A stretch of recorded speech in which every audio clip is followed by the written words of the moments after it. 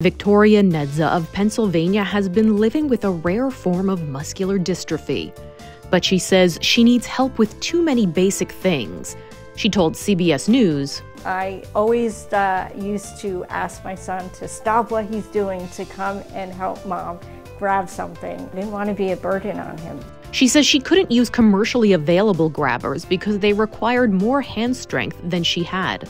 So, on a whim, she says she reached out to the robotics department at Widener University, who were eager to help. And they were really res- uh, receptive and responsive right away. After designing and 3D printing, this is what they came up with. This is the touch sensor right here, where they blew my mind and came up with a solution that I didn't even think of, and that works perfectly. It has enabled me to be more independent. It's a creation the team hopes will have a greater reach than just this one patient.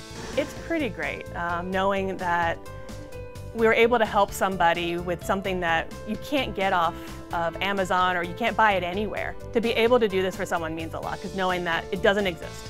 It never has existed. For Inside Edition Digital, I'm Mara Montalbano.